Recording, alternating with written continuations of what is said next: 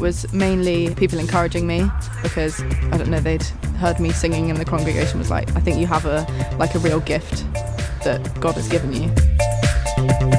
I've seen Aidan grow from being a child into a sort of teenager.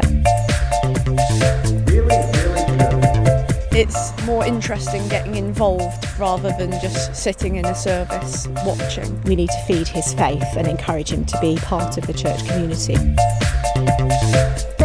About 14 or 15, I think, I really started to have this feeling that God was calling me to something other than just being a young person and coming to youth group and things. Each one of us, no matter our age, has a place within that community we call church. Sometimes with young people, we forget that.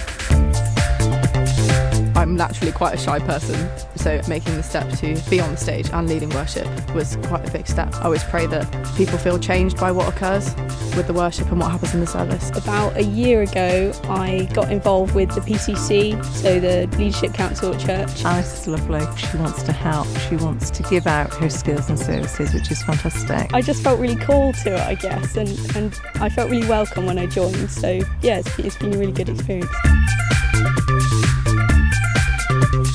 It's lovely that we've got an older community, but you need new life in it and some youth to spice it up a bit. I think also from the perspective of our church communities, it's important to see that young people can do things. Young people are just so great at rising to, to the challenges that are set before them. I think the benefits that it brings are amazing. Silence, please.